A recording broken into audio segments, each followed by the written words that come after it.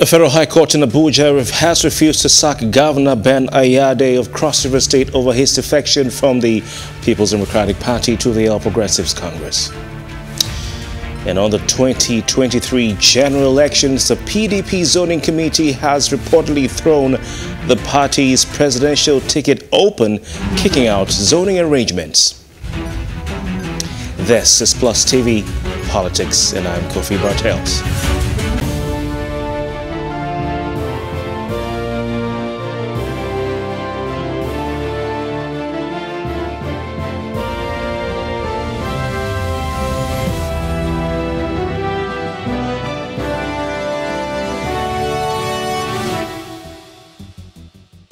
Once again, welcome to Plus Politics. The Federal High Court in Abuja yesterday uh, declined to declare vacant the governorship seat of Governor Benedict Ayade over his defection from the People's Democratic Party to the All Progressives Congress. APC. Justice Taiwo Taiwo held that the governors and their deputies can only be removed from office in line with sections 180, 188, and 189 of the Constitution of the Federal Republic of Nigeria 1999 as amended, which stipulates that elective office holders can only be removed from office on account of death, resignation or impeachment. Uh, the Honorable Justice Taiwo Taiwo said that since defection is not one of the constitutional provisions to remove any governor, no court has the power to insert such into the supreme law. The judge, however, agreed that defection from a winning party to a losing party is in his words, immoral, improper, and condemnable.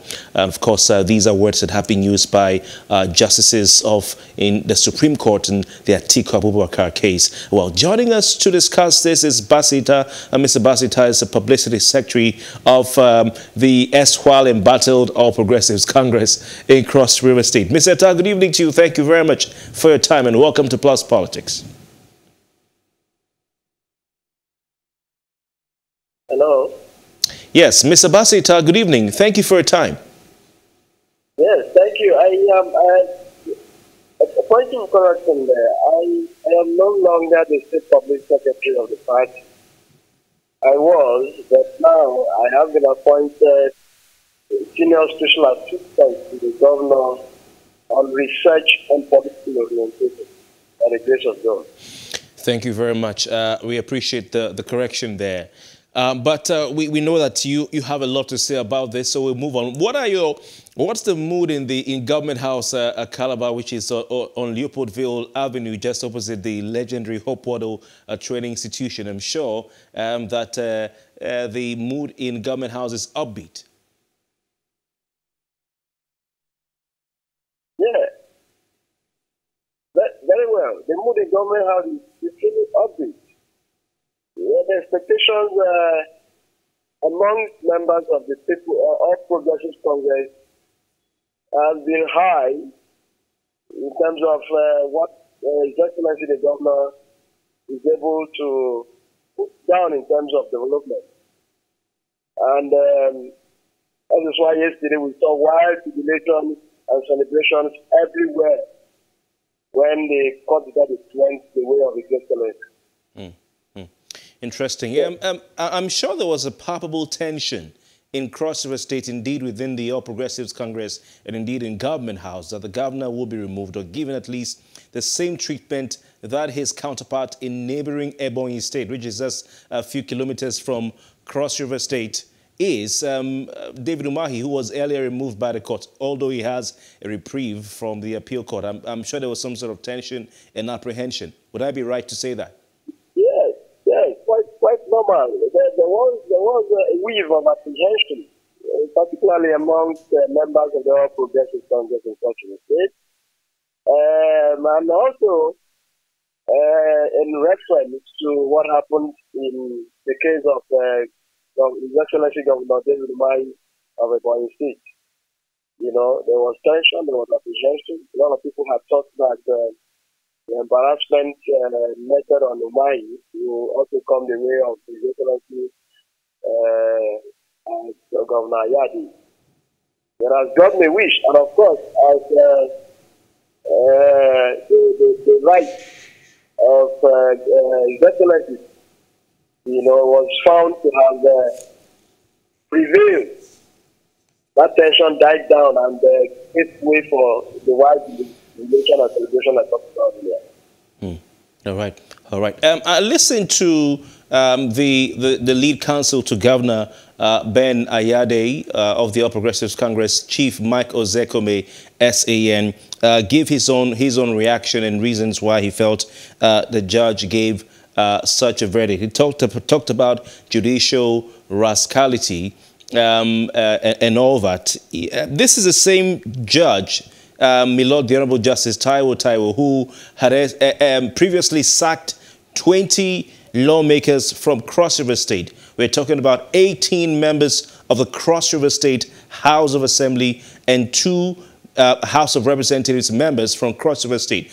Um, were, were, you surprised and um, are you worried about the sort of conflicting judgments coming um, not just from the Federal High Court in Nigeria as a whole, as an institution, but also from the Court of Justice, Taiwo Taiwo, with all due respect to his, um, his lordship?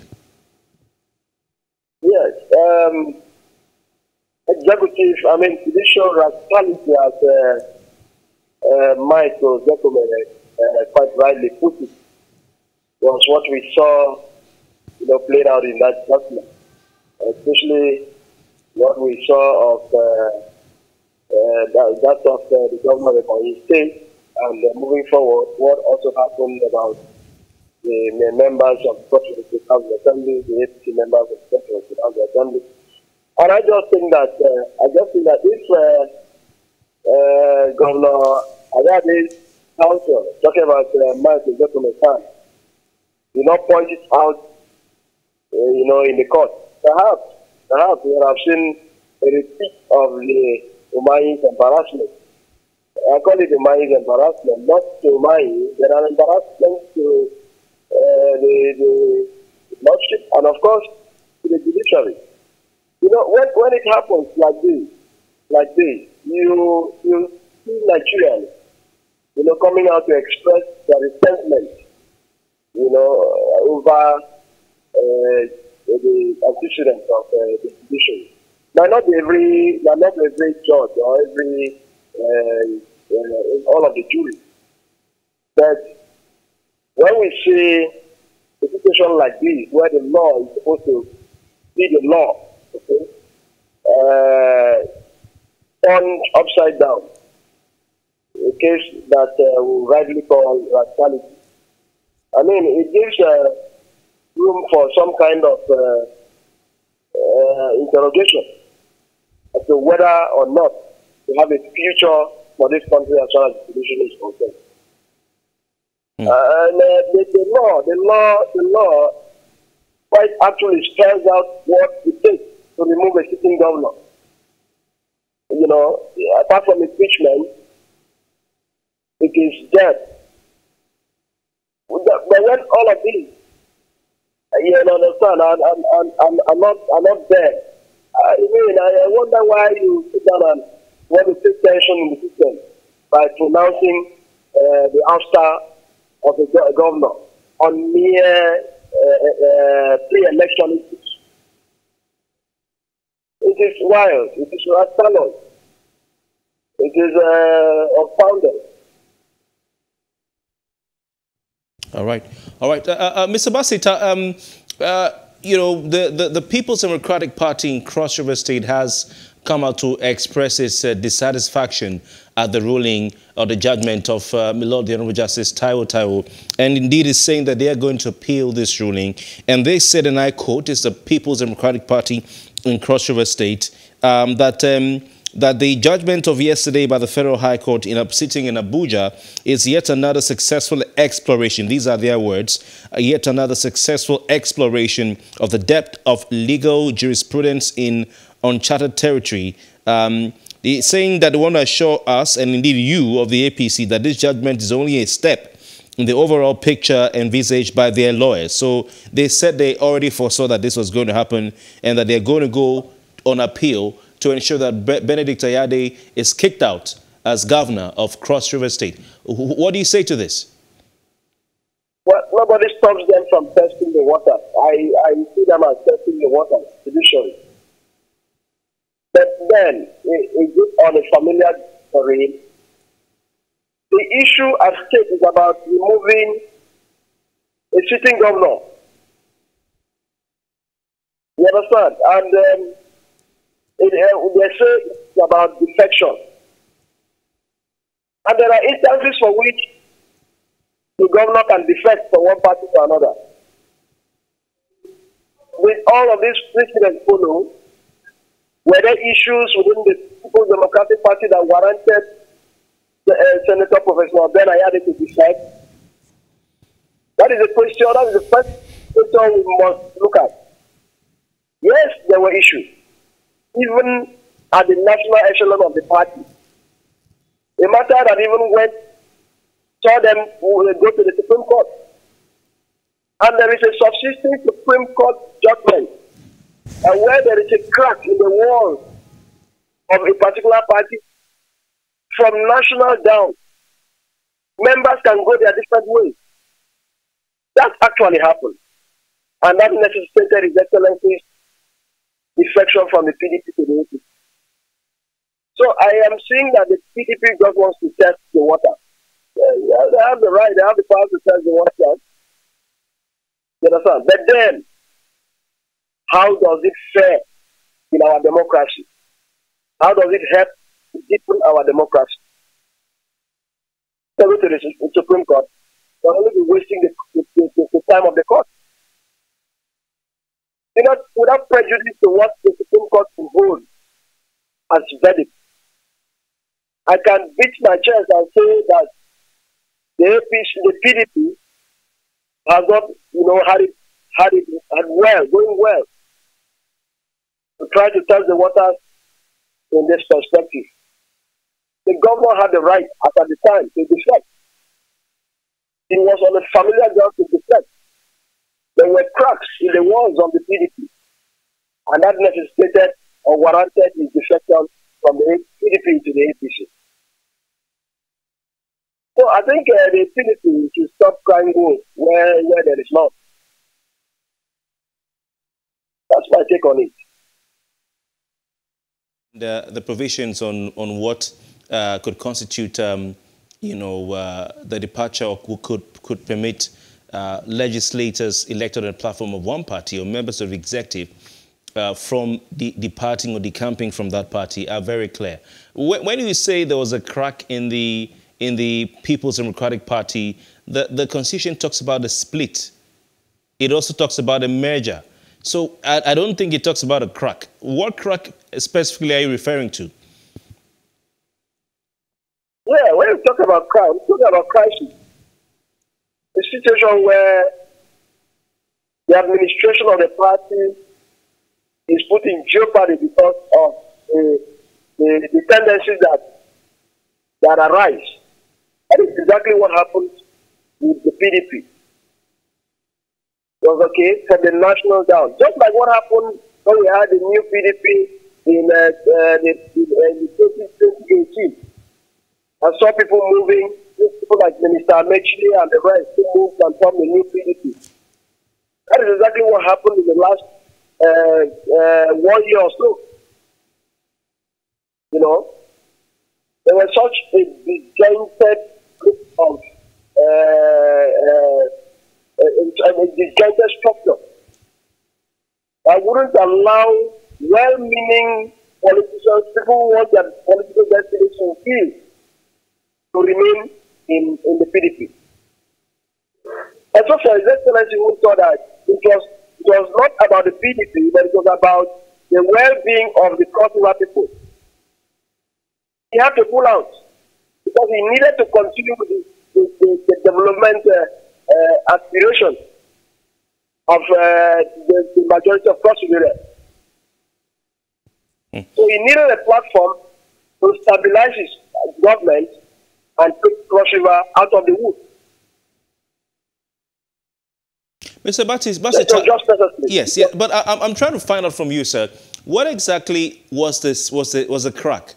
you know, in, in the party? Was it was it a crack in, in the PDP in Cross River State, Was it a, pack, a crack in the PDP nationally? Because even the example you're citing, which is um, talking about the new PDP and the fact that Amaechi, Saraki, and co moved from the PDP to the APC to form that party, um, it was clear that there were two PDPs. You know, they, they went and formed their own PDP. But, but I, I don't remember that happening when uh, Governor Ayade uh, moved from the APC, from the PDP to the APC. And in fact, even before Governor Mai Mala Buni, who was then the, uh, the caretaker chairman of the Extraordinary Convention um, uh, Planning Committee of, of, the, of the APC, visited Government House with Timi Silva and co. Days before that, or hours before that, the PDP had visited Governor Benedict Ayade in Calabar to try and persuade him to remain in the party. You're aware of that? So what what yeah, crack are you talking about? To, I don't want to go into mentioning names, but if you if you take a cursory look at the, the historical antecedents of uh, defection, you will realize that some national leaders of the PDP, just as they came to appeal to His Excellency not to defect, some of them were the ones who initiated the crisis.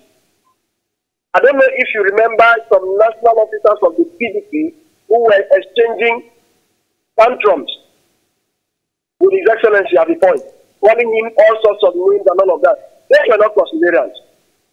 Those were national officers of the PDP. And that alone clearly tells the story of the crisis. I remember at the point where His Excellency was called the boy boy, he was called several names. I mean, the government of the state. He was strangulated in terms of the administration of the party in the state.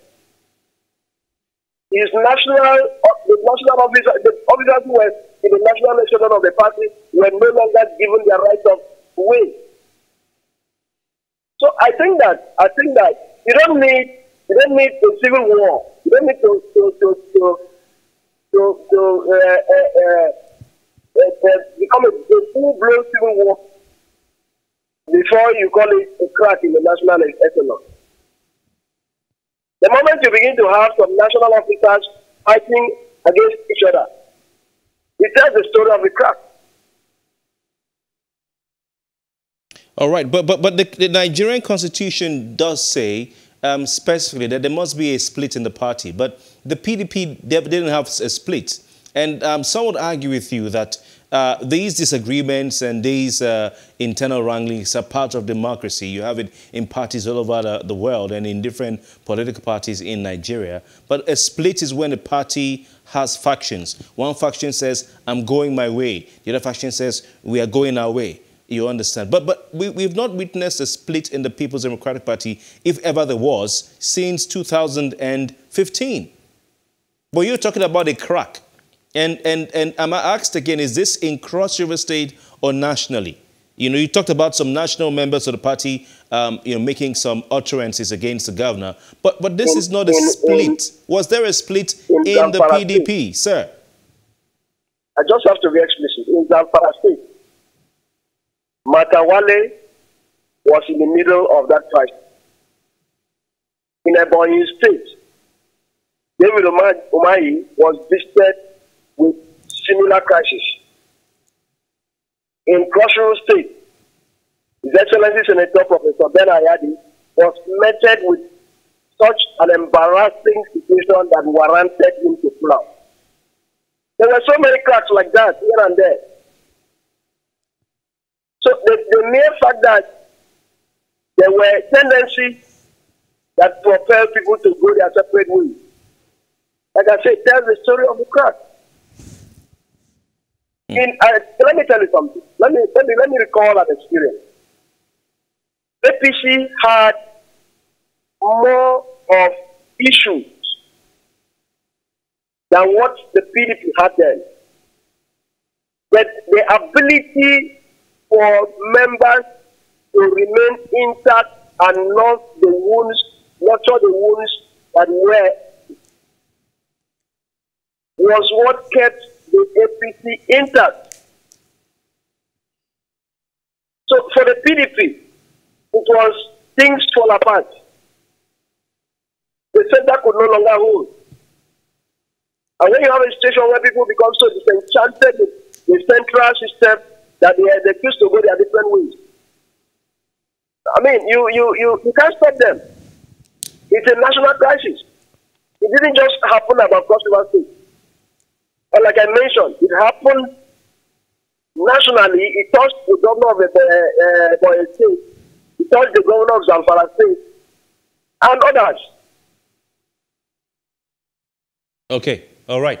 Um, um, I do remember uh, that when Governor Ben Ayade um, gave his speech uh, alongside uh, ranking members of the APC, including uh, um, Mai Mala Buni of Yobe State, Timipre Silva, and co. He never mentioned a crack in the party, and I, I, I want to assume that, say, you may have been uh, uh, either at that meeting or you're aware of the statements by the governor. He said he wanted to join hands with the center to take Nigeria higher. The governor never mentioned uh, anything like a crack. But staying with that issue of a crack, this has to do with the legislators of the party um, or of any party moving uh, from the, that party on which, on which platform they won the election to another party. The, the, the, the ruling or the judgment of Justice Taiwo Taiwo um, uh, so, some weeks, some days ago regarding the 20 Cross River State lawmakers who were sacked uh, by his court still stands. And of course, you were talking about the issue of a crack. So I'd like to just go to section 68, subsection 1G of the 1999 Constitution of the Federal Republic of Nigeria as amended. And uh, Mr. Bassey Ita, it states that a member of the Senate or House of Representatives shall, shall vacate his seat in the House of which he is a member, being a member, if being a person whose election to the House was sponsored by a political party, in this case the PDP, he becomes uh, a member of another political party before the expiration of the period for which the House was elected, provided that his membership of the latter political party is not as a result of a division in the political, political party of which he was previously a member or a merger of two or more political parties or factions by one of which he was previously sponsored. And I know you're well aware of this. So uh, what do you expect to happen with those seats that have been declared vacant? 18 of them in the Cross River State House of Assembly and two in the House of Representatives. One issue I wouldn't like to comment on. The reason being that the matter is already before the appeal. Yes, because it will be sub judice will begin to preempt uh, the decision of uh, the appeal court and will allow that matter to be exhausted by the appellate court before we can make comments on, on, on it. Yes. Uh, because uh, whatever comment I, I may make now may stand to uh, jeopardize or make uh, the chances of the lawmaker. So I don't want to be caught in that way. Yes, I will allow the appellate court to judge uh, itself. Mm. Of handling that matter. All right, uh, Mr. Bassey Ita, Governor Bennett Ben Ayade has been accused of, of, of, applying underhand tactics in, in dealing with the situation of the uh, 20 lawmakers, particularly those of the Cross River House of Assembly, um, which is not far from Government House, by, by, by unleashing fully armed policemen to, to, to surround and, and block access to the House of Assembly at a time when you know, judicial activity or legislative activity is of very, very great importance. What do you say to this? The, the, the, chief, the chief security officer of the state, I think uh, it is his responsibility to make sure that when we have tension, when we have cases of apprehension and security uh, breaches, uh, he steps in to make sure he douses such tension. Um, I remember when the issue of the judgment came up, you know, there, there were tensions here and there, and it was noticed that uh, uh, there was going to be breakdown of uh, law and order. I mean, at that point, you, you, you, you won't wait for uh, uh, total breakdown of law and order for you to put security measures in place, you know, to check whatever tension that has been. I think His Excellency was only being proactive to stop whatever would stand as breakdown of law and order. Uh, for one to accuse him of uh, taking sides or, or trying to stop a judicial process, I think uh, such uh, an accusation doesn't hold water. It doesn't hold waters at all. Okay, so you're saying Governor Ayade ordered the policemen to go surround the House of Assembly and prevent anyone from, from accessing it, is what you're saying? No, no, no, no, no, no. The, the House, the House, the House, as I speak to you, yeah, they, they can have their session. Members of people have been going, the workers are there. No, I'm, I'm saying at, at the time it happened, you're saying that Governor Ben Ayade ordered, ordered policemen to go surround the place. Surround the place? Yes, you're saying that at the time it happened, this was after the, the initial judgment, that the governor ordered these policemen there, is what you're saying. But you're saying he did it to yeah, forestall, like to forestall like breakdown of law and order. That allegation is unfounded. No, you, you, you just said it, sir. Honorable Bassey Ita, you just said that he, he, you just was, said, like I said, which yeah. would you prefer? When we, when we have when we have a case of high level tension, what would you do? I okay, so but, but you but you you are admitting I, I'm not arguing that fact. That to be accused of being uh, betrayer. Okay, but you are admitting that, you're, you're admitting you're admitting right here uh, on Plus Politics uh, that the governor indeed it was who ordered the police to go cordon off the State House of Assembly.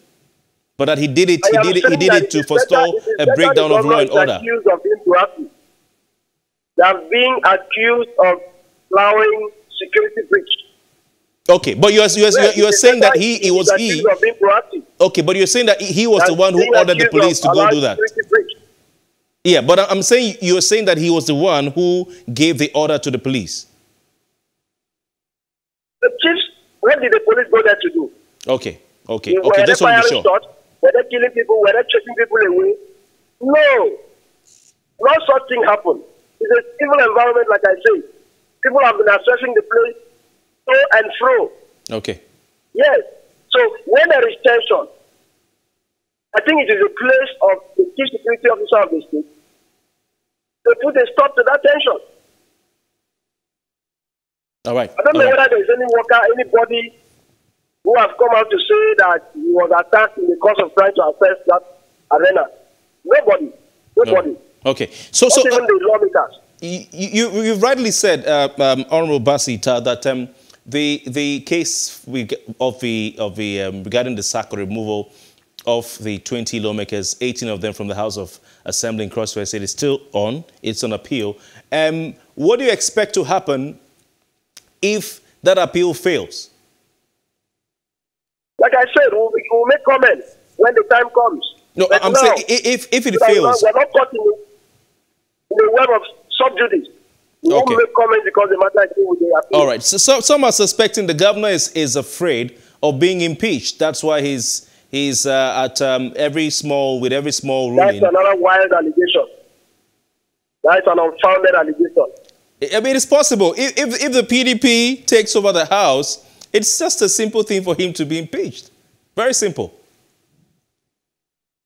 Are you well, not concerned about that, really Again, I call it an unfounded allegation. No, it, it, it's, it's, it's a scenario. I mean, that it's possible that um, Governor Ben Ayade, it's not over for him. It's not over until he can be sure that he has his APC lawmakers back. And if that doesn't happen and the PDP lawmakers get into that house, within seconds he could be, he could be impeached. Well, I do not know. All I know is that there are procedures for impeachment of the governor. There are things that beyond that, we must look at the security implications of what has just happened.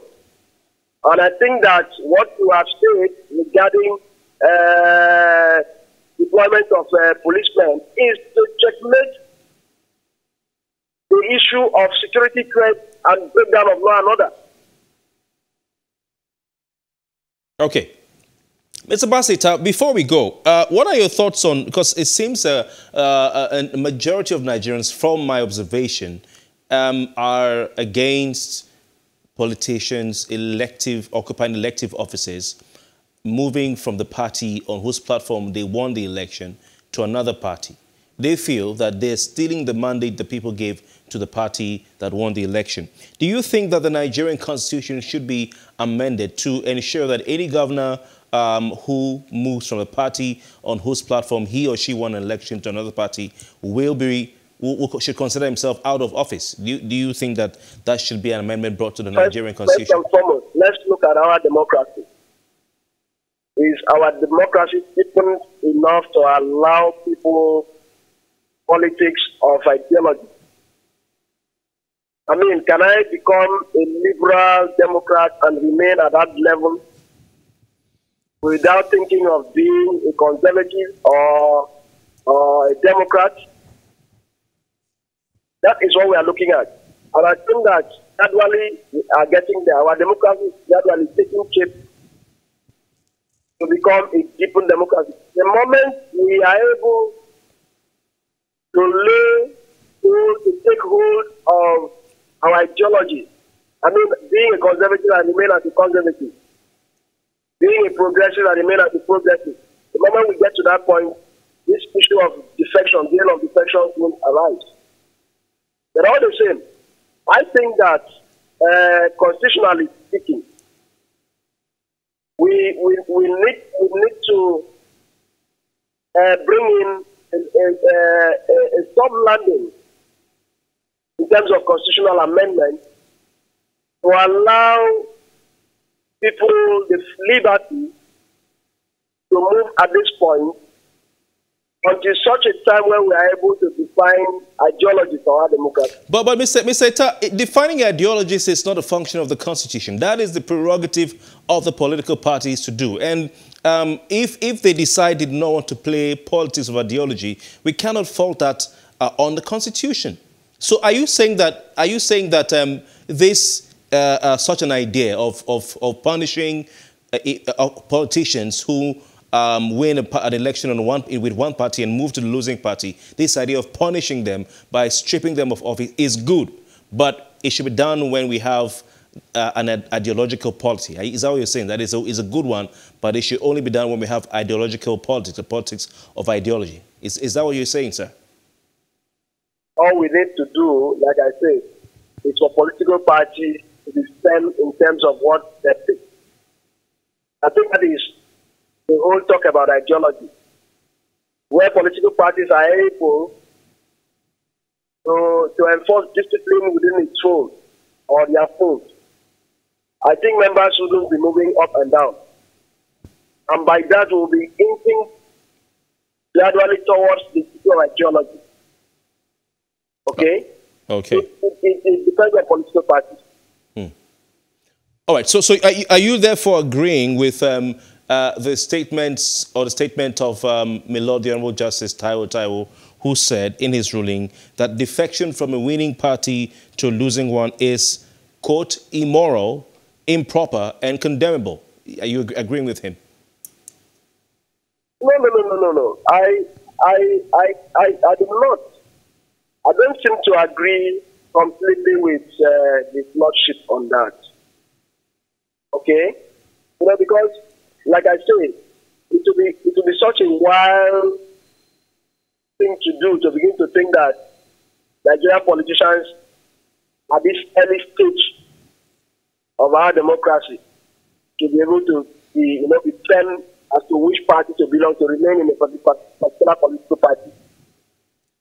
I and, and I, I can assure you that when if you carry if you carry a particular idea of the development and you do not have your political party giving you a platform to ventilate your idea, you can move. And especially when there seems to be a crisis within the party, you can move at this point. Nothing stops you from moving. But I am saying that if political parties are able to enforce discipline, okay, and get their acts together, lessen the level of crisis within their fold. They will be able to keep an army of followers and supporters and members. All right. Who will completely, by their actions, disagree with the issue of the sector. Okay. All right. Uh, Mr. Bassey Ita, thank you very much for your time. It's been a very uh, interesting conversation with you. And uh, I'm not surprised you. you are Senior Special Assistant to the Governor on Research. Uh, congratulations on your new appointment and we wish you all the best. Thank you and God bless you. Thank you. That's uh, Bassey Ita, former uh, Publicity Secretary of the All Progressives Congress in Cross River State and, of course, uh, Senior Special Assistant to the Governor um, on of Cross River State on, on research. Uh, thank you for staying with us. We'll take a short break now on Plus Politics. When we return, we discuss the possibility of zoning in the People's Democratic Party. We'll be right back.